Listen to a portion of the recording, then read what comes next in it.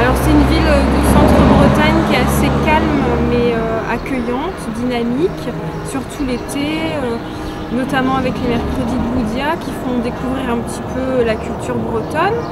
Et puis on a quand même euh, pas mal d'activités sur le secteur, notamment Aquareb. on a une jolie église quand même à visiter. Donc, voilà, faut venir nous voir, on mange bien, on boit bien. On y vit bien. Voilà. Et il y a le soleil.